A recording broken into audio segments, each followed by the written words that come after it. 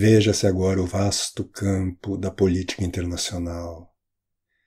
Ano após ano, reúnem-se em Washington, em Londres, em Genebra, em Lausanne, os representantes das grandes potências, animados de um desejo realmente sincero de congregar todos os povos e nações numa aliança universal de união e paz.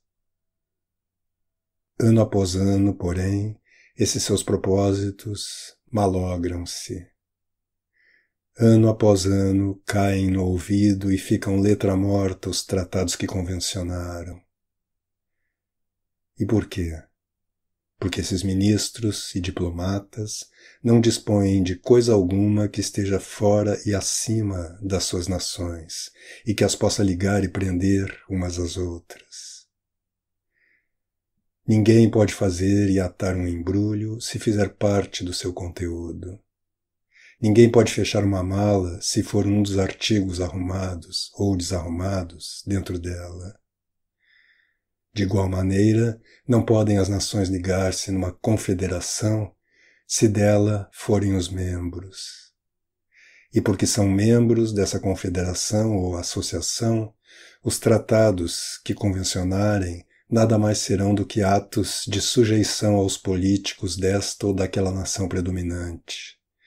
Pois, se em cada nação a obediência aos políticos próprios é contingente e duvidosa, como obedecerá e se sujeitará cada uma dessas nações aos políticos de uma nação estrangeira, por mais poderosa que esta seja?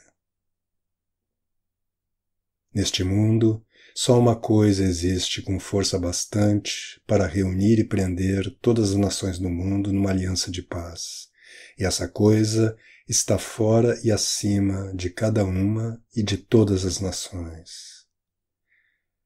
E essa coisa única no mundo, que não é só extranacional, como também internacional e supranacional, é a Igreja Católica cujo sumo pontífice, vigário de Cristo na terra, é o pai espiritual de toda a cristandade e cuja única força é a força moral da justiça e do direito de Deus.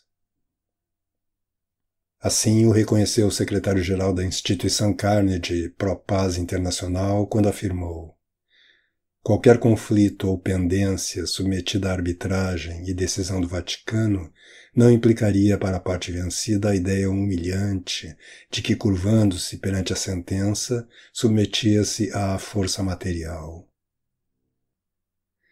Também não implicaria a suspeita de que o juiz tinha em mira obter para si próprio quaisquer vantagens territoriais.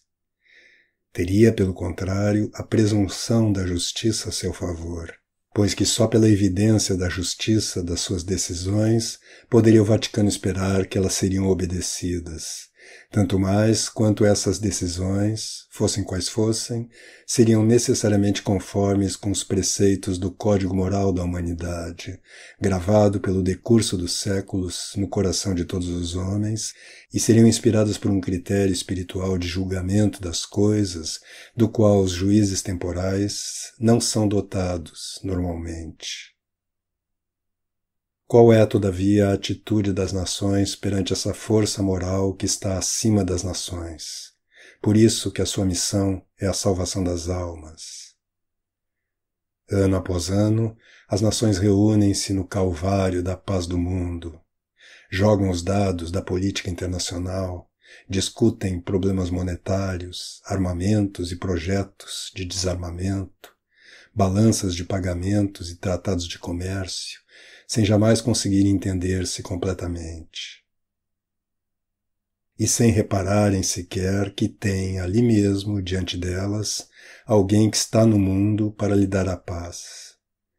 Alguém que podia ser o árbitro das nações, porque detém nas mãos a força espiritual que está acima das nações. E todavia as nações deixam-se estar sentadas a olhar.